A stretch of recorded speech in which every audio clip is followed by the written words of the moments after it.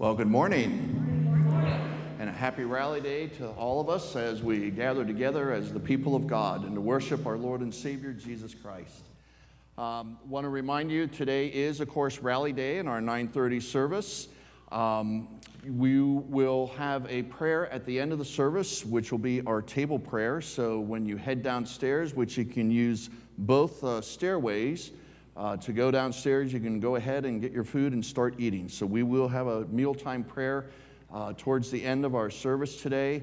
Also, as an awareness, if need be, our overflow, if uh, we run out of space downstairs, our overflow will be in the gathering place, and that is also where we have bingo uh, later today as one of our games as well. So, gathering place for that. We do have uh, a couple announcements. Uh, Joan Holland first. Joan, Joni? There you are. Okay. Good morning, everyone. Good morning. Okay, this coming Saturday is the big day to uh, pack the rice kits for the Kids Against Hunger. We had our big garage sale, and all the proceeds that we made from that will go to help buy the rice and all the supplies for the kits.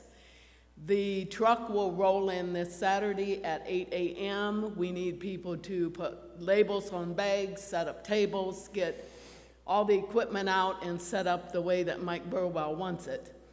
Um, so we can use your help at 8. If you're able to stay the whole shift, we like to try to be done by noon. If we have a lot of people, a lot of hands working in this, we will be done by noon. If not, it will be a little later. But if you can only stay for an hour, two hours, three hours, hey, we will appreciate any work that we can get from any of you. So please get your children, families, and get everyone lined up. And don't forget, 8 o'clock this coming Saturday. And appreciate anyone's help. And if you have any questions, give me a call. Thank you. Thank you, Joan. Kids Against Hunger Rice Kits, Saturday, this Saturday, 8 o'clock. Carrie, if you please come forward with your announcement. If you turn with me to page two in your bulletin, uh, Worship and Music Committee is wanting to try something for a number of weeks, so we're sort of uh, testing the waters here. And that will be, uh, Carrie is going to be our lector for today. So you will see at the top of the page, we're going to try this for a number of weeks called the prayer of illumination. Sometimes we can get into a bit of a too much of a comfortable routine in worship, and it's like, okay, now it's time for the reading of God's word. That's just another portion of matters. So we're trying to place more of an emphasis on the importance of how we have this as part of our worship uh, with the Bible readings. Uh, so Carrie will read that uh, brief intro and explanation, of which then we as the congregation will respond with that prayer, and then she will have the Bible reading. So just want to make sure you know that ahead of time. On page five, uh, just to uh, give you a quick heads up, and as you've seen on the screens, uh, that Youth Night begins this coming Wednesday. So things are up and running. We're at that time of the year. Saturday, as you heard with Joan Holland about the Kids Against Hunger Rice Kits, that's at 8 o'clock. Next Sunday, our Sunday school begins 9:15 to 10:15 for children, and also then the two adult classes that we have. And then uh, that afternoon will be our PLC Walk for Life at Franklin Park. So we gather together to worship the one who is and who was and who is to come. Uh, we worship our God uh, because he is loving, because he is giving. And so worship is a way and a time for us to express our adoration, our thanks, and our praise of the one whose image we are created in. Let us prepare to worship our Lord.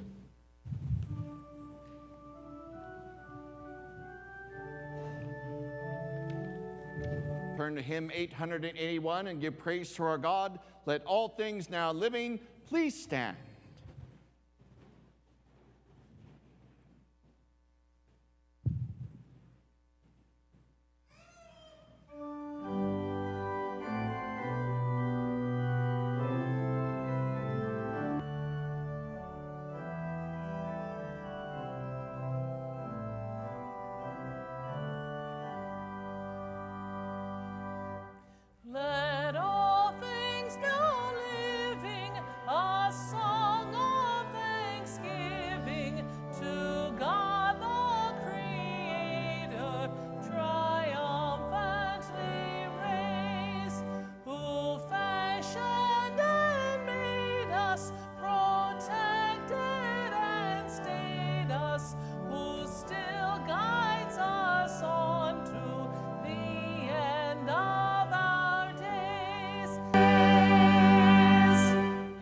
Grace of our Lord Jesus Christ, the love of God, and the communion of the Holy Spirit be with you all.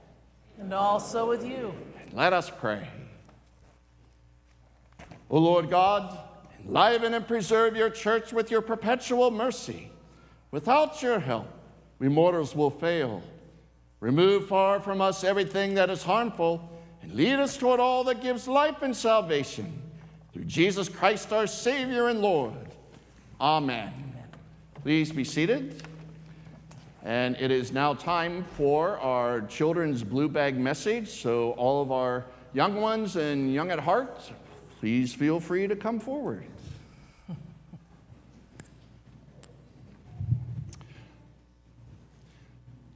Okay, so for those of you from 8 o'clock service, this is familiar with you. Uh, for those of you at 1030, what we started uh, pretty much a year ago was to have a children's blue bag sermon uh, once a month at the 8 o'clock service, and it's proven to be really intriguing at times, okay?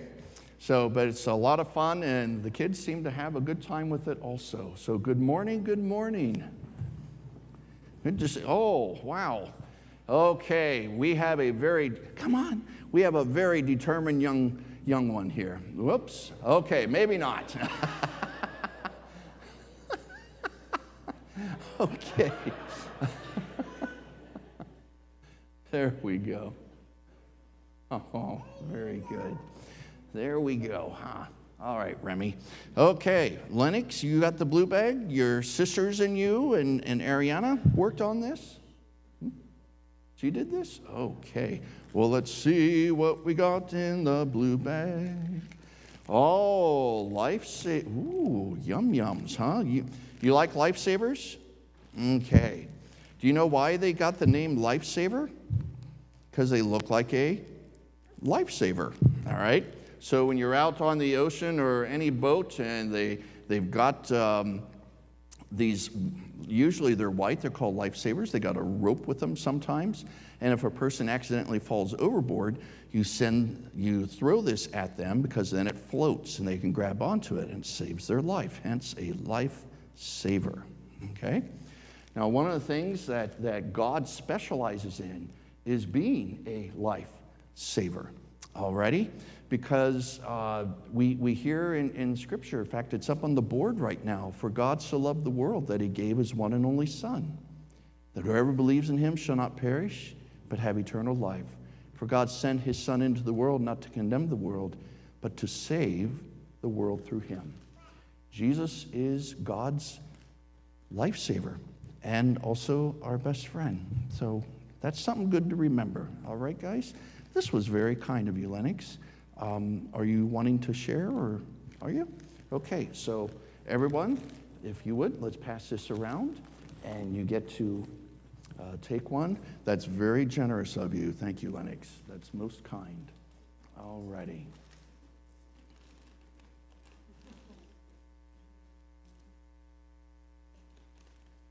Okay. All right, now let's see. Typically, this is uh, for 8 o'clock service already. And uh, we, our last time was May. All right, so Gunnar, just pass that along. There you go. All right, and just pick one. Hey, Bailey? Yeah. Lisa Lynn? Excellent. And then Ariana, you're our last one, I believe. Okay? All righty. So who would, who would like to have the blue bag? Anyone particular? All right, now, Hunter, that means you got to come to an 8 o'clock service. Oh, wow, okay, I'm sorry. that is pretty early on a Sunday morning, isn't it? All right, okay. Well, I'll tell you what, I'm, I'm not going to paint your parents into a corner on that one, all righty? But maybe some other time, would that be all right? You'll, you'll need to talk with your folks ahead of time saying, is that possible getting up for an 8 o'clock service? Or, you know, okay, so but thank you. And it's great having you boys up here with us. But see, Reed, I don't think Reed's hasn't had this uh, in a long time, have you? All right. Or should it be, should we give it to Grandpa? And then you get to work with Grandpa. What do you think? Riley, is that a good idea? Okay. All right, guys, there you go. So you two make sure you work with Gramps on that one. and have a lot of fun. And then October 1st is when you bring the blue bag, okay? So the first Sunday of October, which is the first. Oh, by the way, guys, here, let's stand up, all righty? And because of our lifesaver message, and, and I get it, really, this is the sermon, the main sermon for the day. And based on what we have up on, on the screens there, let's turn around to the congregation. And on the count of three, I want you to shout out to them, God loves you, because that's the message that's on the screens there. Are you able to use your outdoor voice? This is the one time in worship, um, unless you're singing, all right, that you can use your outdoor voice, okay? So let's face everybody. One, two, three. God loves you. All right, now let's add a little mustard on that one, okay? One, two, three. Yeah, all right. Okay, we'll just we'll go with that, all right? You guys, excellent. It's now time. Oh, that's right. It's now time for Noah's Park Children's Church. There we go.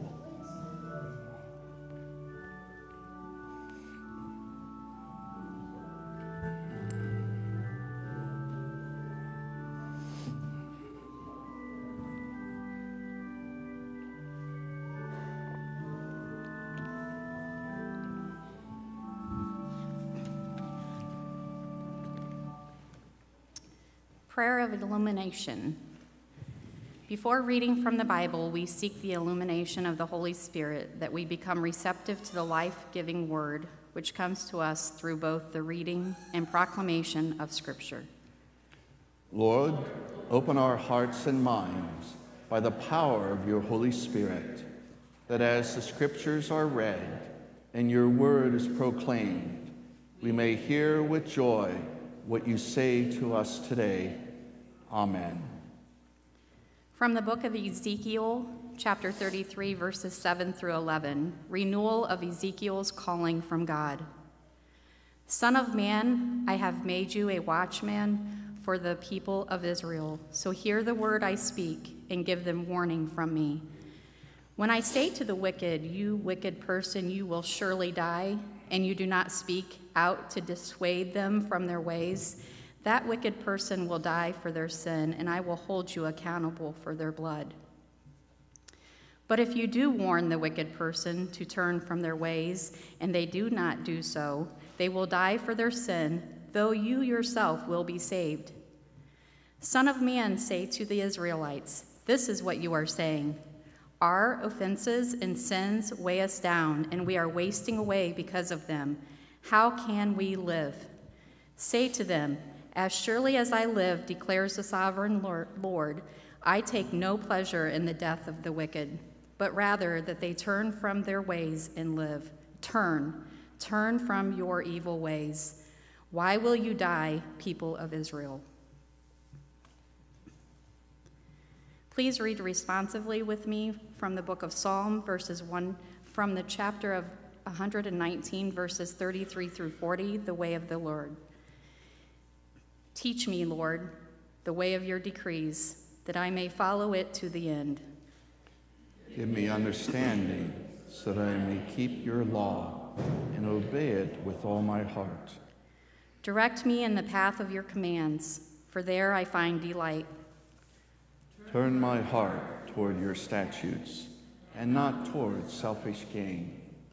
Turn my eyes away from the worthless things, preserve my life according to your word. Fulfill your promise to your servant so that you may be feared. Take away the disgrace I dread, for your laws are good. How I long for your precepts. In your righteousness, preserve my life. From the book of Romans, chapter 13, verses 8 through 14, love fulfills the law.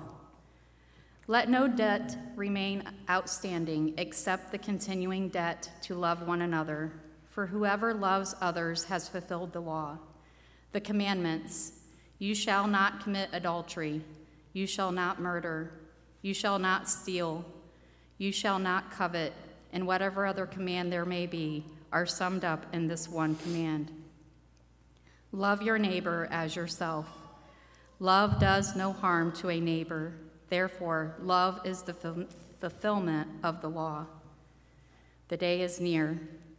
And do this, understanding the present time. The hour has already come for you to wake up from your slumber, because our salvation is nearer now than when we first believed. The night is nearly over, the day is almost here. So let us put aside the deeds of darkness and put on the armor of light. Let us behave decently as in the daytime, not in the carousing and drunkenness, not in sexual immortality, and not debauchery, not in dissension and jealousy. Rather, clothe yourselves with the Lord Jesus Christ, and do not think about how to gratify the desires of the flesh. The word of the Lord. Thanks be to God. Please stand. The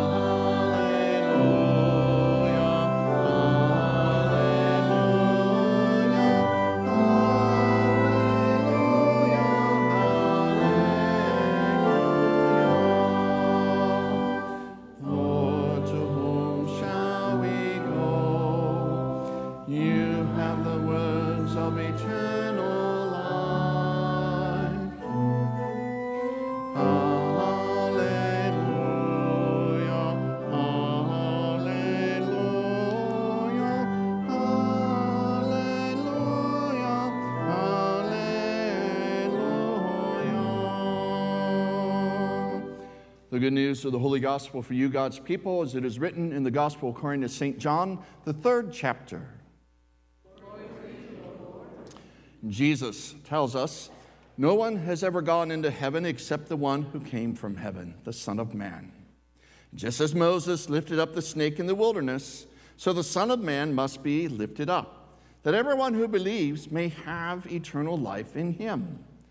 For God so loved the world that he gave his one and only Son, that whoever believes in him shall not perish, but have eternal life. For God did not send his Son into the world to condemn the world, but to save the world through him. Word of God, word of life. and please be seated.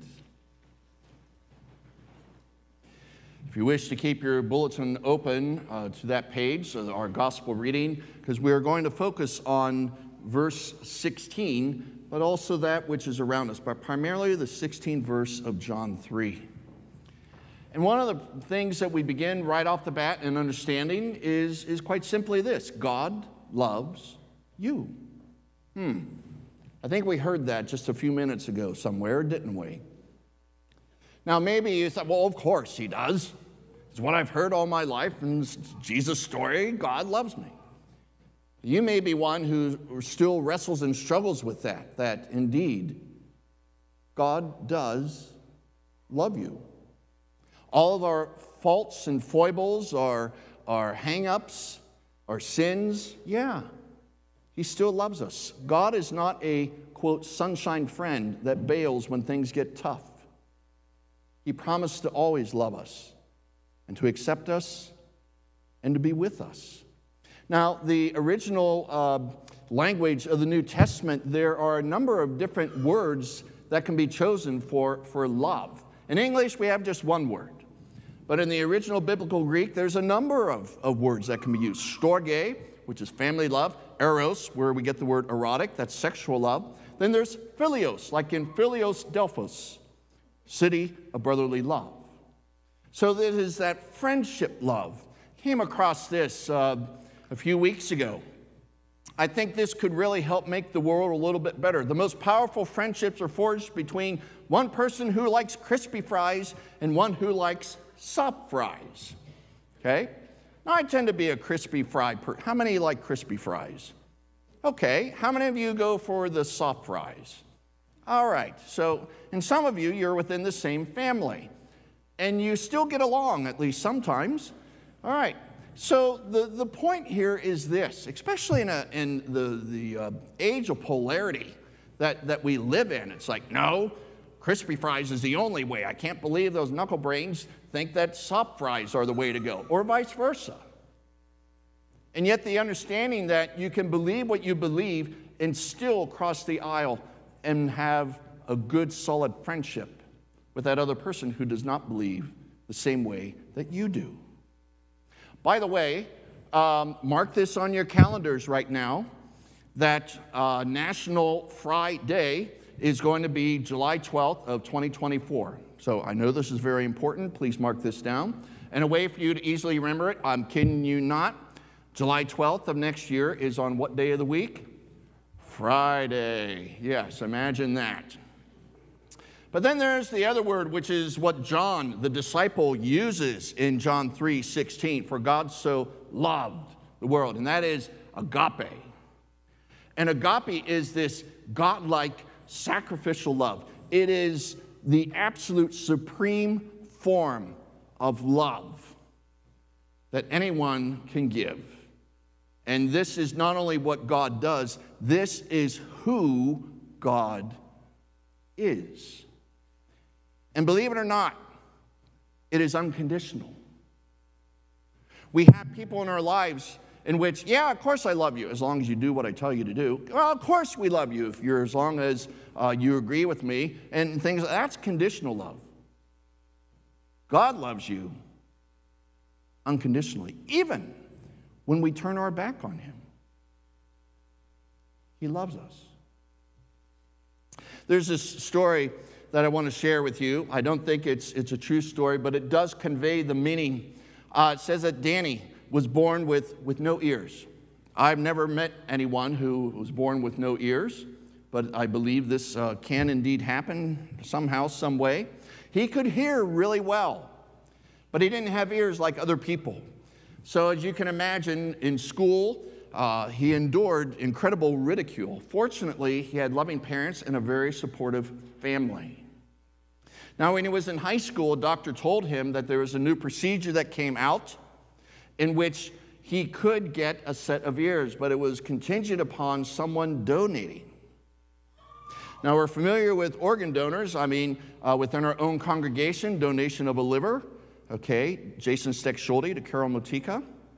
But there's also like lung and, and uh, heart and kidney transplants, donations, uh, skin donation as well. But ears, extremely rare. So Danny graduated from high school, went off to work, moved away, quite a long ways away from his folks. One day, got a phone call from his dad. He Said, "Son, you need to come home. You need to go to the hospital. They have a set of ears for you." And so, what proceeded uh, was the surgery. And when things healed up and the bandages were taken off, and Danny, for the first time, was able to look into a mirror, and my gosh, magnificent set of ears. It was a game changer for him. So he went back to work about uh, 500 miles away from family. Life went uh, along. But then a few months later, he got another call from his dad, and he said, Danny, you need to come home as soon as you can. Uh, your mother is very ill, and we don't know if she'll make it through the night. So he got on the first plane he possibly could, and when he arrived, his father gave him the sad news that his mother had died. So they went to the funeral home for one last goodbye before calling hours and services. And Danny at the casket leaned over to give his mother one last kiss on the cheek, and he brushed the hair back from her face. And he noticed that his mother had no ears. She had donated them to her son. Sacrificial love, agape love. This is the type of love that God is. That God loves you. For God so loved the world. But how do we know that? Because of this that He gave His one and only Son. Now, if love or loving is the first, foremost, primary word that describes God, if someone were to ask you who does not know God, you know, tell me about who this God is that you go and worship and you believe and that you follow and you dedicate your life to. This is the word love. But then there's a close second word that we see in the whole counsel of God, from Genesis to Revelation, from cover to cover. And that is not only is God loving, but God is also giving. So, if you were to share with someone about the character of our God, at the very top of the list, first is love or loving, second is giving. For God so loved the world that he gave. Talk about the supreme sacrifice. He gave his one and only Son. We see that in the 14th verse. Just, Jesus saying this, just as Moses lifted up the snake in the wilderness. This is in the book of Numbers, the fourth book of the Old Testament, and therefore the fourth book of the Bible. And this is where the people of Israel had escaped the mass exodus out of Egypt, crossed the Red Sea, and now they're wandering in the wilderness for 40 years. And for God's people, the Lord delivering them from slavery, crossing the, splitting the waters of the Red Sea so they could cross, be uh, in the wilderness, and He's constantly providing for them, but it still wasn't good enough, and they begin to moan and groan and rebel against God. He allows snakes to enter into the camp. People are dying from being bitten by these poisonous snakes. Moses reaches out to God, and the Lord says to him, Form this bronze serpent on a pole and lift it up so that people can look up to it. And when they look up to it, my power will save them and they will live. When you go and you see on ambulances and medical buildings and all, there's a pole and one or two serpents on it, this is the basis of that story. That is the basis of those symbols. And so Jesus is saying, just as Moses lifted up that bronze serpent in the wilderness so that people could look up to that and be saved, so too must the Son of Man, Jesus, be lifted up on a cross so that everyone who believes may have eternal life in him. Now, two weekends ago, Bob Barker died at the age of 99. For 35 years, from 1972 to 2007, he was the host of what game show? Price is Right. Yes, some of you, I think, are quite fans of this. It's a fun show. Drew Carey has been host since then. Um, but you know, The Price is Right, it just really speaks to our culture, doesn't it? I mean, Mariano Pachetti, come on down. You're our next contestant on The Price is Right. And then you have those people lined up there and they're trying to guess the right price on something that's on stage. And the one who gets it, of course, they're jumping up and down and going all crazy. Uh, there have been accidents over the years on the shows, everything from people tripping to separated shoulders on the big wheel. I mean, it just happens. I don't know if the hosts have ever been injured from uh, wild contestants. It is quite a sight. And then they have to play a game of chance, and if they get it right, I mean, they can win like furniture or a new car or a vacation trip of a lifetime. And when it comes to God loving and God giving and sending, lifting up, giving his one and only Son, the price is right. The crucifixion and resurrection of our Lord Jesus. John, the disciple, puts it this way in his first letter of John. Now, listen to the flow and the poetry, and as well as the meaning of what John the disciple is saying here. John is the author of the disciple of Jesus. John is the author of the Gospel of John, 1st, 2nd, and 3rd John, what I'm going to read to you from now. And then uh, many believe he is also the author of the book of Revelation. From chapter 4 of 1 John, verse 7 onward, dear friends, let us love one another, for love comes from God. Everyone who has been born of God knows God. Whoever does not love, they don't know God, because God is love. There's a three word confession in our faith right there God is love. And this is how God showed his love among us. How do we know that God is love? Well, he sent his one and only Son into the world that we might live through him. This is love. Not that we love God, but he loved us and sent his Son, gave his Son, lifted up his Son, as we see in that language in chapter 3, as an atoning sacrifice for our sins. So, dear friends, since God so loved us, we also ought to love one another. If you want to call it French fry love, so be it. John doesn't say that, I'm saying that just. No one has ever seen God, but if we love one another, God lives in us and his love is made complete in us. And then in verse 19, we love because God first loved us. For God so loved the world that he gave his one and only Son, that whoever believes in him shall not perish, but have eternal life. Now, this word believe, think of it as has a relationship with Jesus. Whoever has a relationship in Jesus shall not be lost, shall not perish, shall not be condemned, but have eternal life. If you want to know what is it in Jesus we're called to believe, what does that look like? Here is a great spiritual exercise for you. This is what I recommend to folks who are wanting to go deeper in the faith. Take the Gospel of John, because the word believe is throughout John. This is his heavy emphasis. So look at the Gospel of John, and anytime there is the word believe or a form of the word believe, so it can be believe, unbeliever, unbeliever, believing, unbelieving, okay, belief, any variation of that word. And circle it, highlight it, or write it in a notepad next to you, and you'll see all this just jump out from chapter 1 to chapter 21 of John. It's a great exercise, and it helps you begin to see what is it that we are called to believe? What is that type of relationship we're asked to have with our Lord Jesus? Now, here's something else to know, and that is the word eternal life. Oh, yeah, that means after you die, you, you know, you live forever. In Matthew, Mark, and Luke, yes. In John's gospel, that's only half of the equation. Because the previous half of the equation is once we have a relationship with the Lord Jesus, that's when eternal life begins.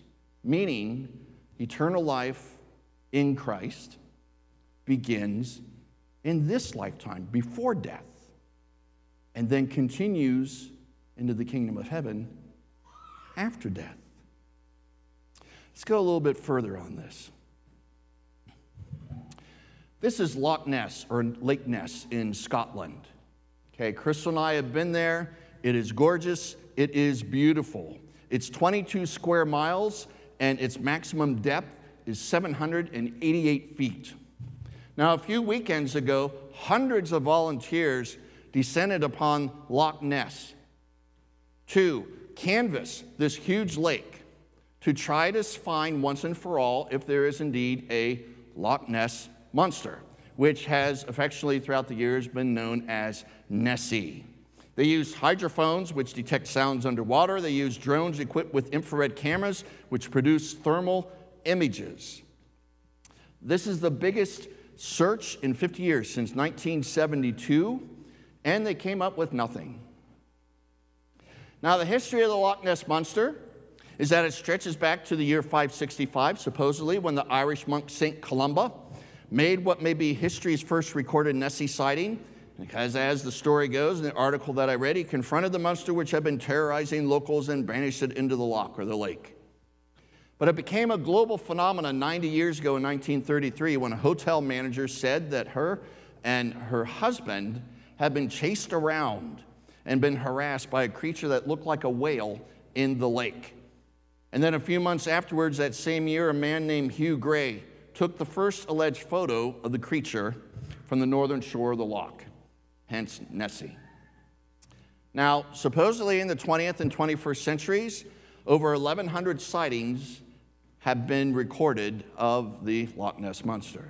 Now, as a side note, I got to tell you, this shows about um, the shrewdness and, and wittiness of uh, Scottish people. That is, in 1990, Crystal and I went over to Scotland. This was on our own. And we decided, well, when you're there, you might as well go around Loch Ness and just see things. And we came across what was the Loch Ness Monster Original Museum. And yet, right next door to it was the Loch Ness Monster Official Museum. Original Museum, Official Museum. Which one do you visit? So there was an employee that we spotted in the parking lot just smoking a cigarette. We walked over at him and said, Which one would you recommend to see, the original or the official? And he goes, Armand, it matters not because they're owned by the same person. Now, I think that's rather shrewd business, is it not, to compete against yourself? You own, this, you own both of them, so you're going to benefit no matter what. I can't remember which one we went in. Yeah, it's kind of a tourist ripoff thing, but it was a fun thing to do nonetheless. So there are people that really believe that Nessie exists. It's great for the local economy with the tourism. But, you know, really? Does it? All right. Honestly. Perhaps it's a fairy tale, make believe, whatever, just for publicity. But when it comes to God being loving and God being giving, we are invited to take the step of faith, which is getting more challenging in our world today to do so. But to take that step, that this is historical, actual, factual that God indeed loves, does love you, that He loves the world. And to show us such, gave His one and only Son. And that by believing Him, we can have eternal life. And it's a life that can begin not just after we die, but now to enjoy Christ in our life and to experience the kingdom of God, not in total fullness, but to get a foretaste of the feast to come, a sneak preview of that. You see, in this life, God restores us to the one who created us, our truly giving, loving, amazing, powerful God. And that in Christ, we get to reclaim our original intention to reflect the image of God in our humanity. Just as the moon reflects the light of the sun. This is who we were always meant to be. And no wonder why Jesus said, I came that you may have that kind of life and have it abundantly. And so, eternal life, which begins in this life, then also carries over in all of its beauty and splendor and glory and perfection in the next, in the kingdom of heaven. Or as we hear into the second to the last chapter of the Bible, in the book of Revelation, as we conclude for today, Jesus saying to John the disciple in this vision as he is exiled on Patmos, the island, they will be his people, and God himself will be with them and be their God and he will wipe every tear from their eyes. And there will be no more death, no more mourning, no more crying, no more pain. For the old order of things has passed away. And he who was seated on the throne said, I am making all things new. And then he said, Write this down, for these words are trustworthy and true. He said, It is done. I'm the Alpha and the Omega, the beginning and the end. To the thirsty, I will give water without cost from the spring of the water of life. And those who are victorious will inherit all this, and I will be their God. And they will be my people. In the name of the Father, and of the Son, and of the Holy Spirit. Amen.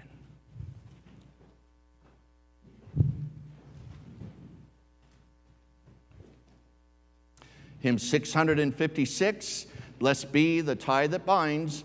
Please stand.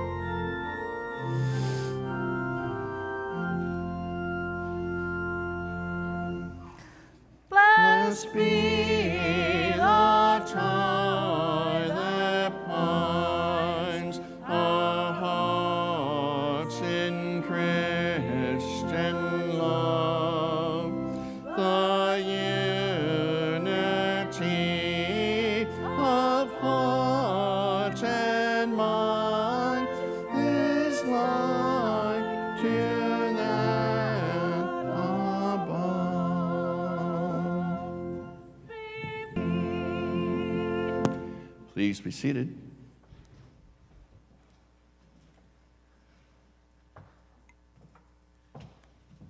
Those who usually attend the 8 o'clock service know this is the time I get up here and say a couple of words and, and play something. That's what I'm going to do. It's musical meditation.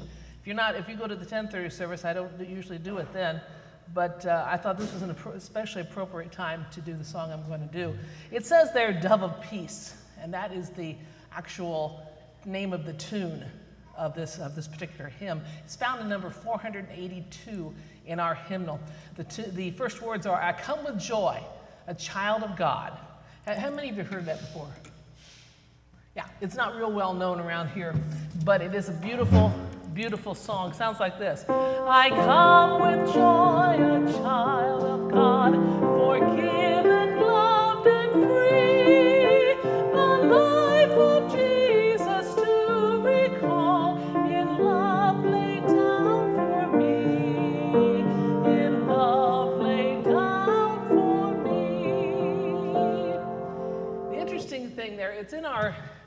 the Holy Communion section of our hymnal, and it is considered to be a communion song, but in a sense, it really goes with what Pastor was talking about today about the love of God and then the love that we find among ourselves here as Christians. If you look at the rest of those words, real quick, I think I'm going to blow up. Okay, all right, I still didn't want to go, eh, there comes through. Yeah, could you back that off a little bit? Thank you. Mm. Thank you. Okay. I come with Christians far and near to find, as all are fed, the new community of love in Christ's communion bread. That's the second verse. As Christ breaks bread and bids us share, each proud division ends. The love that made us, the love of God, makes us one. And strangers now are friends. The spirit of the risen Christ, unseen but ever near, is in such friendship better known, alive among us here. Together met, together bound by all that God has done, will go with joy to give the world the love that makes us one. I come with joy, a child of God.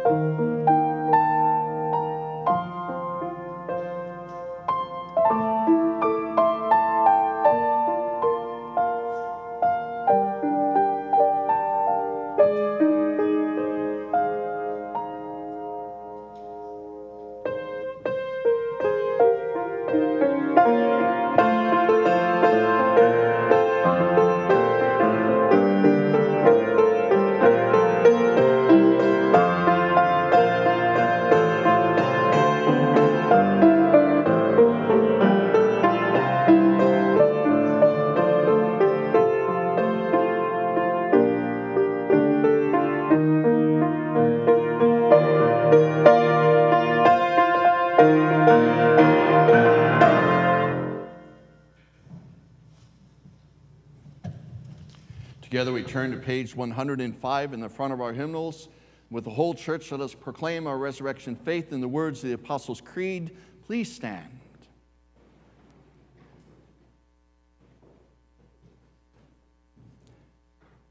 I believe in God the Father Almighty, creator of heaven and earth.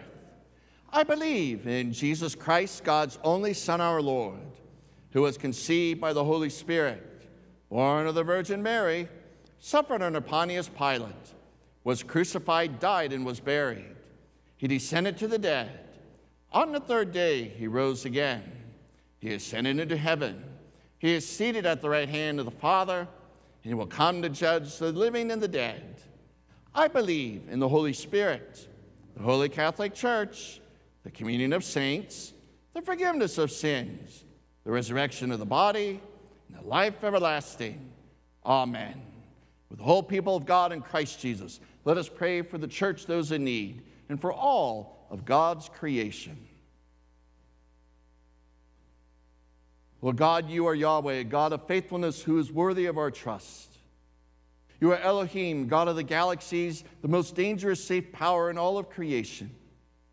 And you are El Shaddai, God to whom is approachable night and day. We pray for Sean and Kim Kimmett, AJ Wiseman, Nancy Gardner, Jacob Hart, Kirsten Ream, Mark Hoagland, and for the family and friends of Jersey Poff and Ross Myers. Lord, may you be honored and glorified with today's Rally Day worship and activities. For the meal that we are going to experience soon downstairs, we offer you this prayer. But Lord, we thank you for the food before us, the friends beside us, the love between us, and your presence among us. For you, Lord, are our refuge and strength. We turn to you for peace and security as we recall the attack of 9 11. We thank you for the bravery and the sacrifice of those who saved lives as firefighters, rescue crews, or people aboard United 93. Continue to comfort and strengthen the family and friends of those who died. For in commemorating this tragedy, we give you thanks for your presence in our time of need. And we seek to worship you in spirit and in truth, our guide and our guardian. Lord, in your mercy. Into your hands, gracious God, we commend all for whom we pray, trusting in your mercy through Jesus Christ, our Savior. Amen. The peace of Christ be with you always. Please share the peace of our God with one another. God's peace. Stay.